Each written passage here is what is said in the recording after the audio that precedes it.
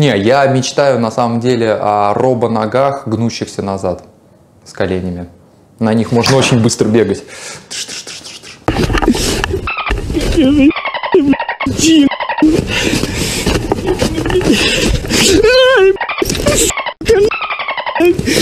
Сегодня мы поговорим о Packet Flow диаграмм. Что это такое, зачем это нужно и вообще зачем лезть в Packet Flow диаграмм.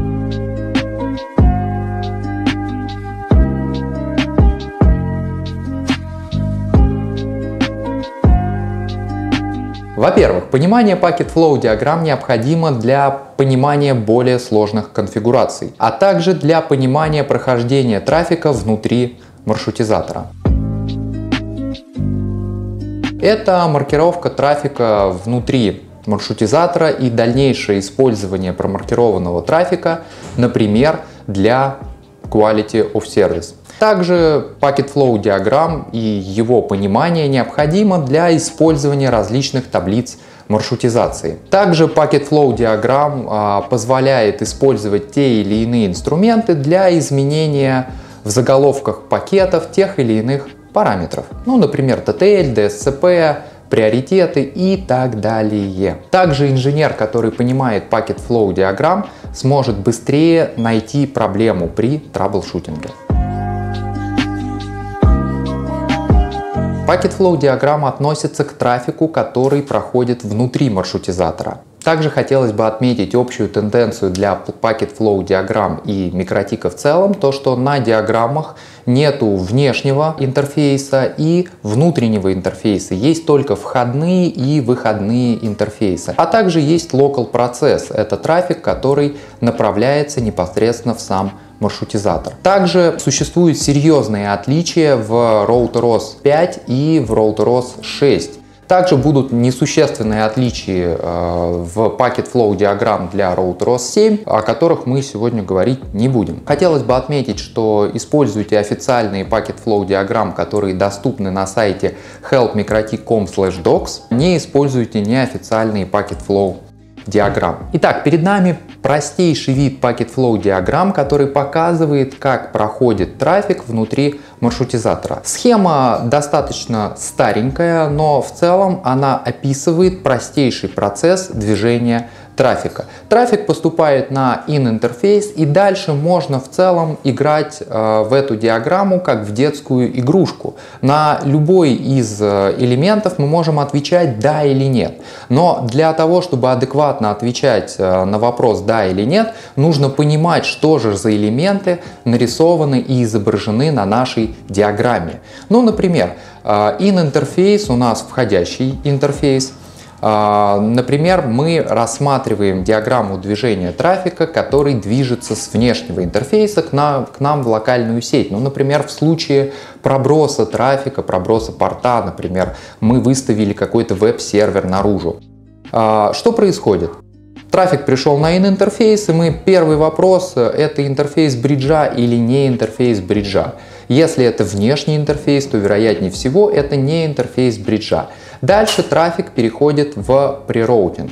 Что такое prerouting? Prerouting это цепочка, которая отвечает за обработку трафика перед маршрутизацией. То есть он так и называется prerouting, перед роутингом.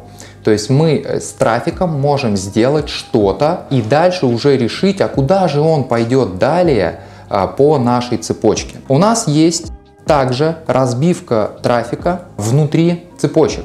То есть если мы заглянем в раздел prerouting, то мы можем понять, что у нас там происходит.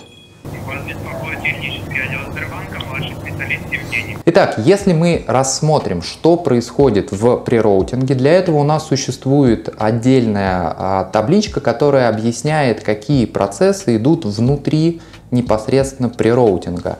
В данном случае у нас а, будет точно проходить connection tracking, и Destination NAT. А, почему не будет проходить hotspot и, например, Mangle prerouting? Ну, если мы говорим о пробросе порта, а, давайте зайдем на любой из маршрутизаторов Микротик. Происходит у нас правило в, на TIP Firewall NAT, а, которое описывает в цепочке DST NAT action dstnat. Если мы зайдем в раздел Mangle, то у нас в разделе Mangle сейчас ничего нету. У нас в самом конце цепочки prerouting находится dstnat. Это как раз изменение в заголовке пакета адреса назначения. Когда мы меняем адрес назначения в прероутинге, у нас э, в раздел Routing Decision, а Routing Decision это принятие решения о маршрутизации, попадает пакет уже с измененным заголовком. То есть мы изменили заголовок адреса назначения. Тем самым, ну что мы туда поставили, можем посмотреть. Поставили мы 192.168.88.2 вместо внешнего IP адреса нашего роутера. И тем самым у нас принятие решения о маршрутизации происходит уже непосредственно с этим IP адресом.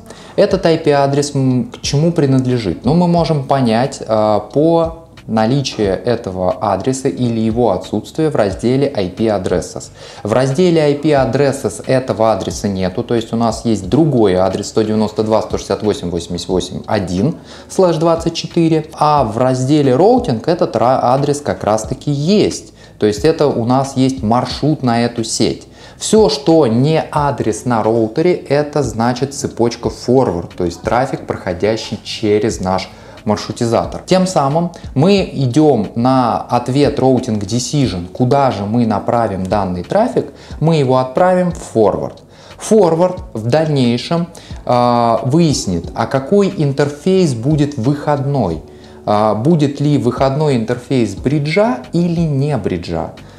Но смотрим по нашей конкретной схеме. Если мы посмотрим на наш роутер, э, то IP-адрес э, и маршрут которые идут в сеть 192.168.88.0/24, а, идут через бридж.